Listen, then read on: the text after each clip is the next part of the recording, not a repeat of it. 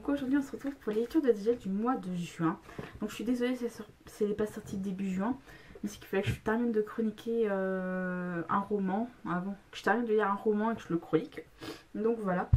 Euh, ce mois-ci j'ai lu un manga et euh, un roman. Donc voilà. j'ai décidé également en fait, je tiens à vous le dire, que je vais rajouter une nouvelle catégorie aux lectures de dégel, vous allez découvrir un peu plus tard. Euh, donc voilà, vous allez comprendre pourquoi j'ai rajouté cette nouvelle euh, petite euh, catégorie ou petite rubrique, je sais pas comment vous, quel mot vous voulez convient. Vous allez comprendre pourquoi en fait j'ai rajouté cette catégorie. Je vous expliquerai plus en détail tout à l'heure. je tiens à préciser que je serai absente la, la deuxième quinzaine de juillet, c'est-à-dire quasiment du 15 ou 30, un petit peu avant le 15 jusqu'à quasiment 30 juillet. Euh, pourquoi euh, Parce que je pars en vacances. Donc si je termine des romans pendant cette partie-là des vacances, je ne pourrais pas vous les chroniquer. Donc faut pas que vous soyez choqués s'il n'y a pas, s'il y a une grande inactivité. Euh, si je vous envoie pas de message sur Facebook ou sur le blog, ni rien. Donc voilà. on va le commencer maintenant parce que j'ai beaucoup à faire, je crois.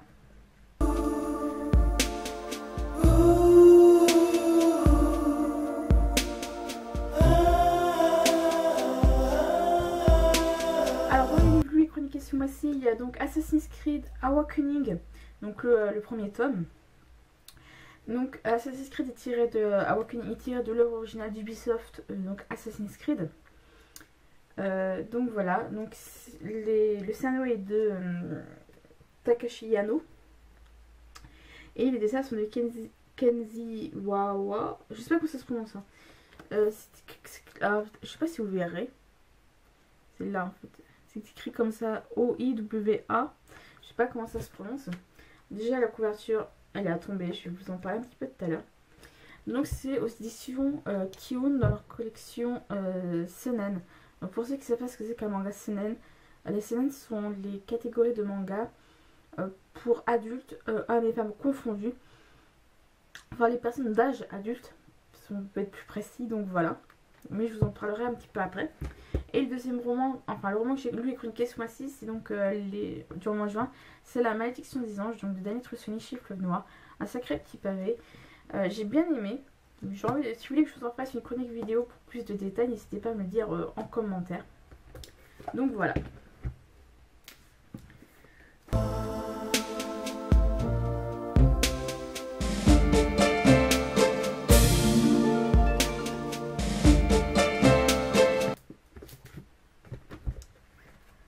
Dans mes acquisitions du mois, euh, il y a 1, 2, 3, 4, 5 livres, 4 euh, romans et un manga. Je me suis également pris un marque-page que je vous montrerai un peu tout à l'heure.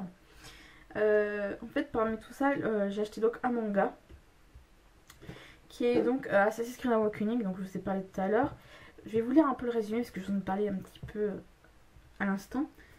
Donc le résumé c'est 1715, les pirates, les règnent en maître sur les Caraïbes et viennent d'y fonder leur propre république où corruption, avarice et cruauté sont désormais monnaie courante. Capitaine sans foi ni loi, engagé dans une quête perpétuelle de richesse, Edward Kenway écume sans relâche les mers, considéré comme l'un des pirates les plus redoutables de son temps, ce combattant féroce et aguerri va se retrouver malgré lui projeté au cœur du conflit millénaire qui oppose les assassins aux Templiers. Découvrez l'adaptation manga d'Assassin's Creed 4 Black Flag et embarquez dans une aventure prodigieuse aux côtés des plus grands pirates de l'histoire. Alors lui, je vais peut-être vous faire un manga parce que vachement il est super intéressant.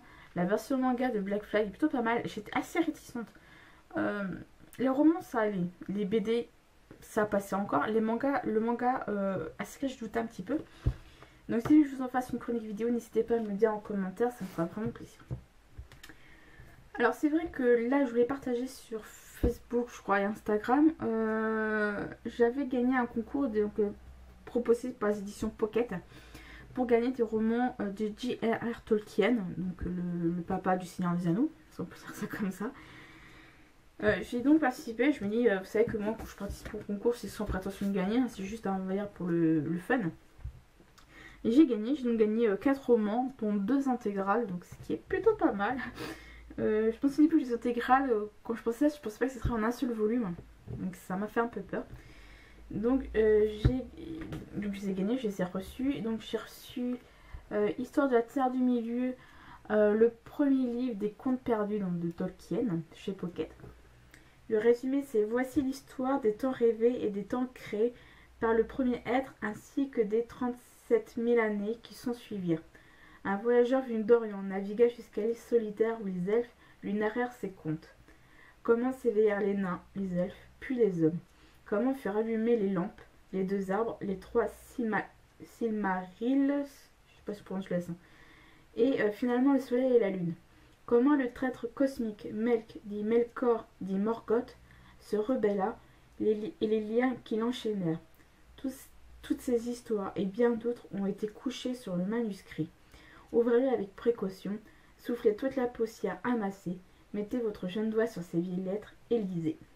Donc voilà. J'ai hâte de lire parce que c'est une petite lecture assez sympa. Euh, tiens, je pense si Mike de Mike Chronicle est par là, euh, je pense à toi parce que je sais que tu es un grand fan de Tolkien. Sinon, euh, faites-lui passer la vidéo. Alors j'ai également Histoire de la Terre du Milieu, donc le second livre euh, des contes perdus. Là c'était le premier, là c'est le second. Toujours de Tolkien chez Pocket. Donc le résumé c'est Voici les récits parmi les plus anciens des jours anciens. Tolkien venait de participer à la bataille de la Somme. Il était ébranlé, malade, quand il composa la chute de Gondolin, où Morgoth, le sombre seigneur, trouve le chemin du royaume caché et se présente avec toute son armée devant cette cité forte. Seuls quelques elfes en réchappent, dont Earendel, petit-fils du roi. Le royaume caché, c'est l'Angleterre et l'invasion de Morgoth, exprime l'angoisse de l'auteur devant les hordes des Teutons. Euh, je sais pas si je prononce bien les noms, hein. je suis désolée. Cependant, le ton est tout, euh, tout de grandeur héroïque et même que le comte de Bérem et Tuniviel respire l'élégie et même l'érotisme. Donc voilà, ces deux petits-là, je vais les garder, je sais pas quand, peut-être une petite période un peu calme, un peu détendue. Alors j'ai également reçu gagné donc Contes et légendes inachevées, donc c'est l'intégrale, donc il y a le, les euh, contes, et légendes inachevées, donc le premier âge, le second âge et le troisième âge dans un seul volume. Je vous avais dit que j'avais euh, le premier âge euh, des contes et légendes inachevées dans ma palle. Finalement je le rends à mon père parce qu'il y a mon père et je vais pouvoir avoir l'intégrale. Donc voilà, je voulais un peu résumer. Alors, indispensable pour tous les amoureux de la Terre du Milieu. Ce recueil de textes apporte un éclairage crucial sur le monde du Seigneur d'Anneau et de Silmarillion à travers l'histoire de Celeborn et Galadriel ou l'expédition d'Erebor, un exposé sur les Istari, le groupe de mages auquel appartient Gandalf et Saruman, ou encore une description de l'île de Numénor et des Palantiri, le lecteur trouvera également une version en prose de l'histoire des enfants de Hurin et un épisode de la vie de Tuor. Autant de textes qui pourraient constituer le volume 0 de l'histoire de la Terre des Milieux. Alors celui-là, euh, le dernier bouquin, je pensais que ça serait en trois volumes, il est assez gros. Euh, un peu plus, on n'est pas loin des 1500 pages quand même, hein. vous voyez c'est un petit pavé. C'est écrit, mais je vais voir, mais vachement petit. Quand je pose comme ça, on dirait presque, vous savez, les trucs qu'on voit dans les églises. Je sais pas si je sais que tout le monde ne va pas à l'église forcément, donc euh, donc voilà. Donc ça c'est intégral et il s'agit en fait de l'intégrale du Seigneur des Anneaux, donc de Tolkien. Euh, là c'est intégral, la couverture est à tomber, les lettres sont, le titre est en lettres d'or. Super, c'est comme ça, je trouve vachement beau. Avec l'œil là, super. C'est vachement bien foutu avec les anneaux, espèce d'anneaux. Donc voilà. Donc je pense que je me connais le Seigneur des Anneaux, hein, on va pas se mentir. Peut-être deux noms. Voilà. Une contrée paisible où vivent les hobbits, un anneau magique à la puissance infinie, Sauron, son créateur, prêt à dévaster le monde entier pour récupérer son bien. Frodon, jeune hobbit, détendeur de l'anneau malgré lui, Gandalf le magicien, venu avertir Frodon du danger, et déjà voilà les cavaliers noirs qui approchent. C'est ainsi que tout commence en terre du milieu, entre la comté et le Mordor, ainsi que la plus grande légende. Donc voilà. C'est pas que j'ai peur de le lire, euh, cette intégrale du Chien des Anneaux, c'est qu'en fait, euh, je voulais plus le lire, mon père m'a dit lis-le. Lillet, pardon, les trois tomes euh, des Seigneurs des Anneaux. Pourquoi pourquoi j'hésite Parce que j'ai vu les films. Donc je fais encore l'histoire. Et mon père a dit non, Lillet, euh, il y a plus d'informations, des trucs comme ça. Donc voilà, c'est mes gains pour euh, chez Pocket Jeunesse. Alors je vous montrer le parc-page que j'ai acheté, je le trouve vraiment très beau, il est vraiment même pratique. C'est donc celui-ci. Donc des côtés c'est le, même en fait. Euh, le tableau je sais pas ce que c'est.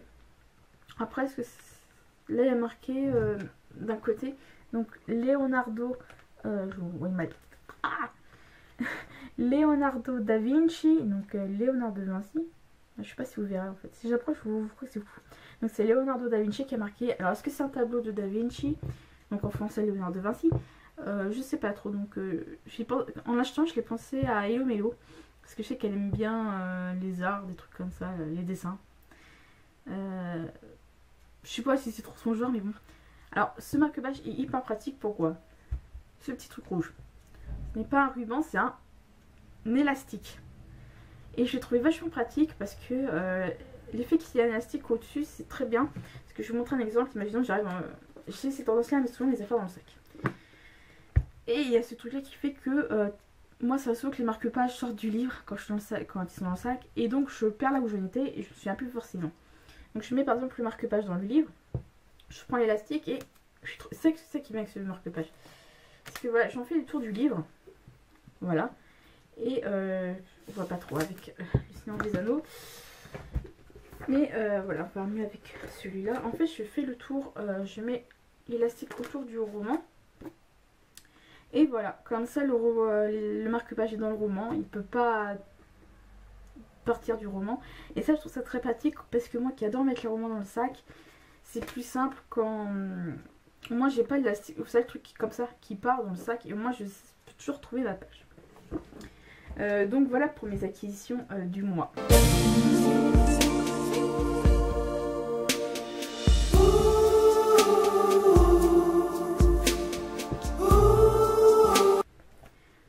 Alors comme je le dis au début de la vidéo, je vais une nouvelle catégorie, c'est donc celle-ci, mes emprunts médiathèques. Alors pour ceux qui ne savent pas, je suis inscrite à la médiathèque depuis 2011. Donc là j'ai renouvelé mon, nouvel, en avril, j'ai renouvelé ma carte médiathèque pour jusqu'à euh, avril 2015. Sauf qu'à chaque fois, je vais vous présenter les romans que j'ai empruntés à la médiathèque, mais je les mettais chaque fois dans la pile à lire euh, du mois. Sauf que forcément, les romans, je les lisais pas tout le temps. Et là, en fait, euh, j'ai emprunté également des CD à la médiathèque. Mais je me suis dit que je savais pas dans quoi mettre tout ça. Donc je me suis dit, faire une partie où je vous présente mes emprunts médiathèques pouvait être intéressant. Donc là, ce que je vais faire, je vais commencer par vous présenter les livres que j'ai empruntés, puis les CD. Donc voilà. Donc à la médiathèque, j'ai emprunté Conte de Cascogne de Jean-François Bladet chez Ouest France. J'adore les livres de cette collection. À la médiathèque, ils sont pas mal. La médiathèque où je suis. Donc il a l'air vraiment sympa. Euh, j'ai toujours aimé les, contes, les, les contes, les gens, tout ça des éditions Ouest France. Pourquoi? Parce que moi c'est un des recueils de contes sur un thème précis. Donc là de Clascon, j'ai lu ceux de Vendée, euh, de Yes Paris je crois. J'en ai vu plein, il y en a plein qui sont sur le blog pour ceux que ça intéresse. Donc voilà, il est assez sympa. Ce qui est bien c'est que c'est pas écrit euh, petit. Pour ma part c'est pas écrit petit, c'est écrit avec un volet assez gros. Ça, ça donne vraiment une certaine authenticité au livre. J'ai emprunté également euh, Légende Inuit. J'ai pas d'auteur. Pas les auteurs.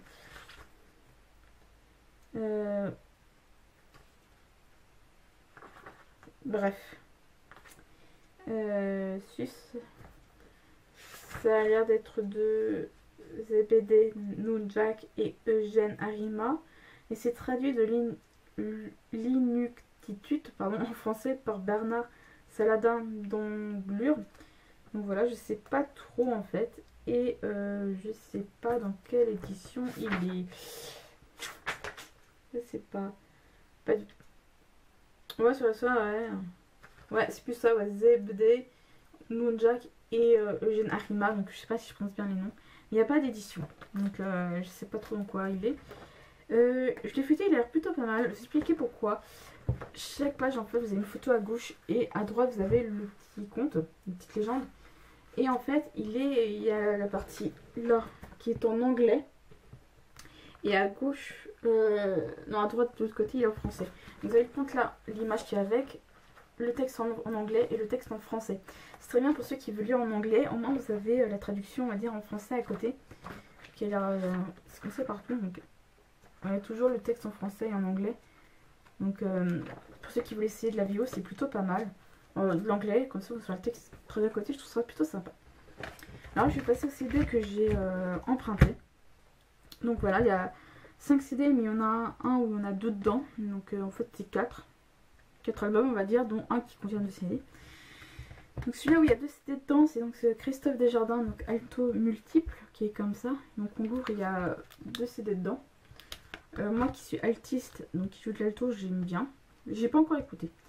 Euh, je tiens à préciser que pour juillet et août, vous n'aurez pas de catégorie les emprunts médiathèque, parce que ces emprunts je, les ai jusqu'à septembre, parce que c'est les vacances scolaires. Et puis la médiathèque où je suis est en plein travaux en ce moment, donc je pourrais pas y aller. Donc voilà. J'ai pris donc également Songbook volume 3 de Cécile Corbel. Alors j'adore cette, cette femme chante vachement bien, vachement, faut que vous écoutiez. Euh, alors là, le CD, euh, ma mère, elle est venue avec moi quand je suis allée à la médiathèque euh, pour les emprunter. Ma mère, quand elle a vu ces deux CD là, elle a dit j'aurais dû pareil. J'aurais dû, m'en douter. Elle s'en doutait un peu parce que c'est que j'adore ce chanteur. Donc voilà. J'ai donc emprunté Gentleman Cabrioler de Garou et euh, Rhythm Blues de Garou aussi, c'est un chanteur que c'est pas que j'admire. Donc vraiment, je les écoutais, je m'en lasse pas. Donc voilà pour mes emprunts médiatiques.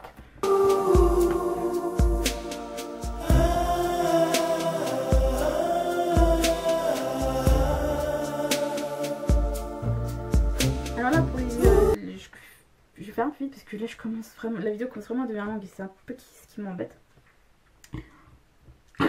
Donc là, je vais parler des livres que je vais lire au mois de juillet.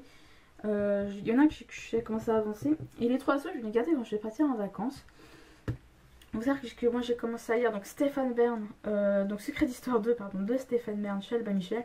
Complètement, j'en suis à là, j'avance bien. Donc j'ai vraiment hâte de, lire parce que je suis le tome 3 dans ma palle et j'aimerais.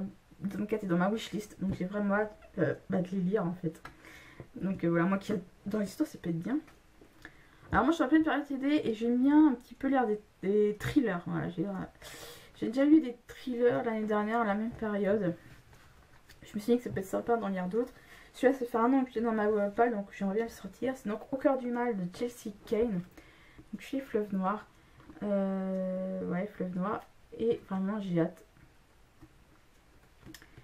Alors, étant donné que j'ai lu justement La Malédiction des Anges, j'aimerais bien lire la suite. J'ai lu donc Angelopolis de Daniel Trussoni chez Fleuve Édition. Alors, Fleuve Noir, euh, avant c'était l'édition Fleuve Noir, mais ils ont changé de nom. Donc là, c'est vrai que c'est laissé probablement corrigé, mais il est déjà sorti euh, depuis avril. Euh, j'ai donné que j'ai terminé La Malédiction des Anges, j'aimerais bien lire Angelopolis, parce que vraiment, je l'ai adoré, La Malédiction des Anges. Et un dernier livre que j'aimerais bien me caser, ce serait donc Guenièvre, La Dame Blanche de Jean-Louis chez euh, Fleuve Édition. Parce que lui, comme je vous ai dit, tout ce qui touche aux légendes arthuriennes, tout ce qui touche au roi Arthur, ça j'adore. Donc voilà.